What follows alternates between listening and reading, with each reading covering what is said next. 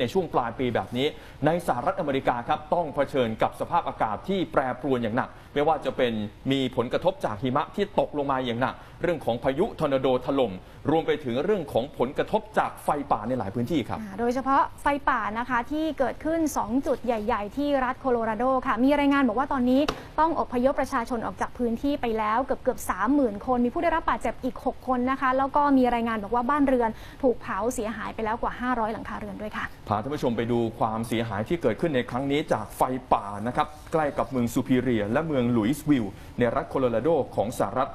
ล่าสุดนะครับมีรายงานผู้บาดเจ็บ 6 คนจากไฟป่าที่เมืองบรูมฟิลด์มีรายงานบ้านเรือนถูกเผาเสียหายไม่น้อยกว่า 500 หลัง กินพื้นที่ประมาณ 4,000 ไร่ ขณะที่ประชาชนบางส่วนถูกสั่งอพยพย้ายไปอยู่ยังจุดที่ปลอดภัย ซึ่งที่เมืองซูพิเรียมีประชากรอาศัยอยู่ประมาณ 13,000 คน ส่วนที่เมืองลุยส์วิลล์นะครับที่อยู่ติดกันมีประชากรอีกประมาณ 21,000 คน ซึ่งตอนนี้ที่เมืองนี้ได้อพยพผู้ป่วยย้ายออกจากโรงพยาบาล เพื่อป้องกันไม่ให้ผู้ป่วยสูดเอาควันไฟป่าเข้าไป จนอาจจะได้รับอันตรายตามมา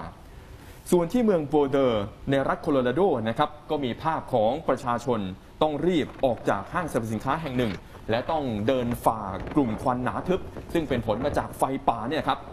ไปที่ลานจอดรถของห้าง ที่ตอนนี้ก็มีควันจากไฟป่าลอยปกคลุมจนเต็มไปหมดครับ จนกลายสภาพเหมือนกับเมืองในหมอกเป็นภาพความชุลมุนวุ่นวายพอสมควรนะครับรถที่จอดอยู่ที่ลานจอดรถหลายคันแทบจะมองไม่เห็นเลยนะครับ ส่วนนี้เป็นภาพจากกล้องหน้ารถ ที่ให้เห็นนะครับว่าหลายๆ คนพอขึ้นมาอยู่ที่รถของตัวเองแล้ว ในช่วงเวลาที่พยายามจะขับฝ่าออกไปจากลานจอดรถ แต่ปรากฏว่าทัศนวิสัยไม่ดีเลยนะครับหมอกควันจากไฟป่ารอบนี้ลอยปิดถนนหนทางแทบจะมองไม่เห็นทางกันเลยทีเดียวครับ ดูแล้วอันตรายอย่างยิ่งเลยนะคะสำหรับการเดินทางท่ามกลางทั้ง ควันแล้วก็ฝุ่นมากขนาดนี้ ในขณะที่อุตุนิยมวิทยาแห่งชาติของสหรัฐค่ะ หรือว่า NWS ออกมาเตือนนะคะว่าไฟป่าที่ลุกลามอย่างรวดเร็วกำลังสร้างสถานการณ์ที่อาจจะเป็นอันตรายถึงชีวิต ในเมืองซูพิเรีย แล้วก็ลุยส์วิลได้ค่ะ เกิดกระแสลมแรงจัดด้วยนะคะ ความเร็วถึง 177 กิโลเมตรต่อชั่วโมงที่เมืองโบลเดอร์ ในขณะที่สำนักงานนายอำเภอของโบลเดอร์ ได้แจ้งสาเหตุของไฟป่าครั้งนี้ค่ะ บอกว่าเกิดจากกระแสลมแรงจัดทำให้หม้อแปลงไฟฟ้าระเบิด หลังจากนั้นก็เกิดเป็นประกายไฟบนสายไฟฟ้านะคะ จนทำให้เกิดไฟไหม้ทุ่งหญ้าหลายจุดท่ามกลางสภาพอากาศที่แห้งแล้งจัดด้วยนะคะ ส่วนที่รัฐอลาบามาค่ะ อันนี้ก็ได้รับผลกระทบเหมือนกัน แต่ว่าเป็นลักษณะของพายุนะคะ เป็นพายุทอร์นาโดที่พัดถล่มตั้งแต่ 29 ธันวาคมที่ผ่านมา อาคารหลายหลังได้รับความเสียหายหนักทีเดียวค่ะ หลังคาอาคารพังถล่มลงมาที่กลางถนน เสาไฟจราจรขนาดใหญ่ก็หักโค่นนะคะ บนพื้นถนนเนี่ยเต็มไปด้วยเศษซากของสิ่งของที่ปลิวมาเกิดจาก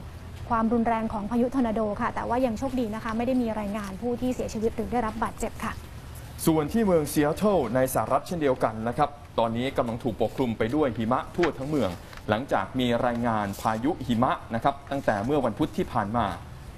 เจ้าหน้าที่ต้องแจ้งเตือนประชาชนเกี่ยวกับการเดินทางที่อาจจะมีความสุ่มเสี่ยง จะทำให้เกิดอุบัติเหตุ หลังจากที่มีหิมะตกลงมาต่อเนื่องท่ามกลางอุณหภูมิที่เย็นจัดสายการบินหลายสายก็ถูกยกเลิกไป นอกจากนั้นถนนหลายเส้นทางก็ถูกปิด เพราะว่าสภาพอากาศแปรปรวน สถานที่ตรวจหาเชื้อโควิด -19 บางจุด ก็ต้องถูกปิดให้บริการด้วยเช่นเดียวกัน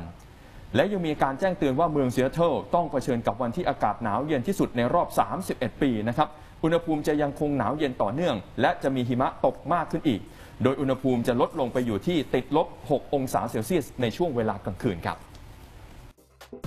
ขอบคุณสำหรับการติดตามรับชมในทีเดนข่าวค่ำนะครับ อย่าลืมครับ ถ้าหากว่าไม่อยากจะพลาดการติดตาม กดไลค์กดแชร์ กด subscribe แล้วก็กดที่รูปกระดิ่งนะครับ เพราะว่ายังมีคลิปที่น่าสนใจ รอให้ติดตามอยู่ในข่าวทีเดนครับ